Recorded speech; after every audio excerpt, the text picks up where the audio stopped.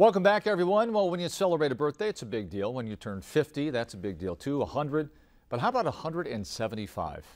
An amazing accomplishment or a milestone. And uh, here to mark the uh, 175th birthday of the Toledo Lucas County Public Library, a man who's been with the library system for a number of a years number now. Of years, yes.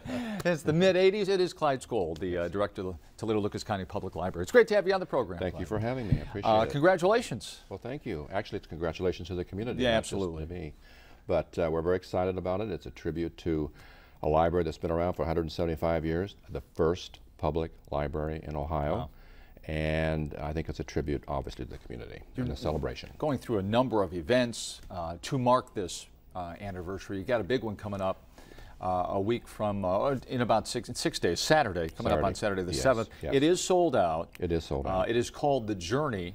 Um, tell us what that is about. Is it uh, the journey of 175 years, Clyde? to some extent, and it's a, it's a journey of a, a more or less historical picture, and it p- more or less depicts where we came from in 1838 uh, with a staff of I think four or five people, uh, and all through with with our uh, Did you have to have a levy to get it going? Uh, actually, it was it was it was membership Clyde? contribution. Yeah. Uh, as you know now, in in, in this era, uh, libraries are free and open to all. Mm-hmm. But in those days, there was a membership, and and that happened in various parts of this nation, and it eventually changed to public libraries being open to all and free. But uh, it's a it's a program that we've got in the branches that people can see that can kind of gives you a kind of historical picture and uh, the story of our library from the very beginning all the way up to the present. And as you know, libraries have evolved a lot in the last uh, maybe 20 years. Yeah, I, I think we think of the downtown library as the crown jewel of the system. It's the heart of it all. Um, but this is this is not your grandfather's lib- library anymore, right? No. I mean, this is just an amazing evolution. It is. It is. Now, books still are our main source of uh, main, main still nothing item. like a book. There's nothing like a book. Man's greatest invention. On the other hand, we know that with technology and the evolving of technology, uh, that has completely revolutionized our libraries. And at the same time, it has even brought more people in to the libraries in the last several years in terms of use of technology. Uh, for, for example, since the era of Carnegie, we've seen more library construction in this nation than we've seen since the era of Carnegie. I mean, if just in Ohio, we have almost close to $400 million worth of public libraries being built around the state, from Dayton with its 187 million, to Cuyahoga County with 115 million, to Columbus with 150 million.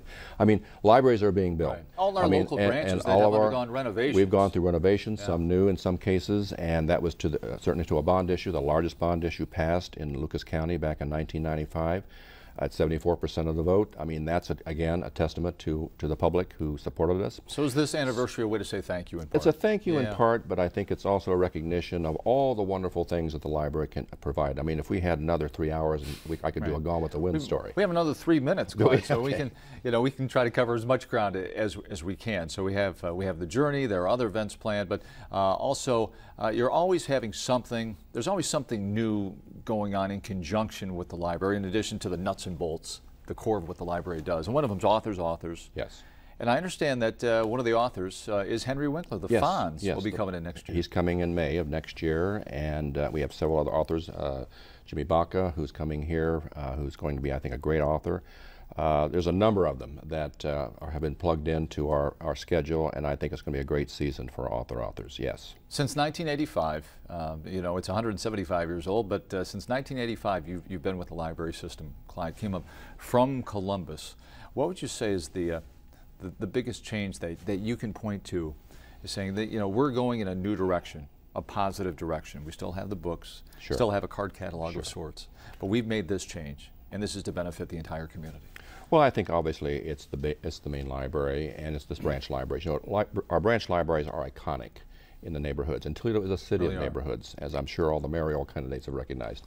So I think in terms of our library system and all the things that it's, it's about, whether it's Point Place, Oregon, all sources, all branches in between. I think it's it's it's a, a system that pretty well mirrors the community and mirrors what people want to see in their libraries. At the main library, part of it all, I think we have a little bit of everything, but obviously in the branches, whether it's Point Place with all the lake commerce and, and, and fishing and boating, to Waterville, right, right next to the train tracks right there, next to the right? train tracks. So, Bluebird, so again, I think that uh, if, if, if there's one thing I would I would say which is hard to do, it is the technology, Mm-hmm. which has changed the way we, we do things. Obviously, 20 years ago, you would need a congressional pass to use the Library of Congress. Today, you can use it from home office or dormitory. You don't need a pass anymore. And also, we plug into all the libraries of the world. I mean, that's something that uh, I'm not sure the public sometimes understands, that we can plug into all the information centers, the presidential libraries. It's something that we couldn't do At your 20 years ago. fingertips. At your fingertips, with certainly the help of the librarians, who are those chief navigators who help you negotiate what you're trying to find in terms of that needle in the haystack. Uh, and their jobs have changed uh, And their jobs have changed trem- tremendously. as well. Yes, they Um, have. So, what about foot traffic? You know, you, you Well- reach out to, to the entire world. You know, last the year, mouse, last year. Hmm. last year we had around al- almost close to three million visitors. Now that's with reduced hours. the With entire system. with the tire system. With the passage of our levy last November, which was the highest priority of all the levies on the ballot, we have seen a tremendous uh, surge of our public using the libraries because of the increased hours. Hmm. We're open more on Sundays, we're open more at nights. Who would have thought that a library would be closed on a Wednesday night or a Thursday Right. night? That was was a big deal when that levy campaign was going on. that on. was a big, yeah. big deal, uh, a very, very big deal, and certainly the public responded with that, uh, with their, with their feet and their vote. Congratulations to you, Thank you. uh, your staff, and the community. 175 years. Thank you, and thank you for having me here. You bet. Clyde Scoles, Director, Toledo Lucas County Public Library. When we come back in just a minute, back to the mayor's race as we get ready for the uh, big mayoral debate this coming Wednesday. Stay with us.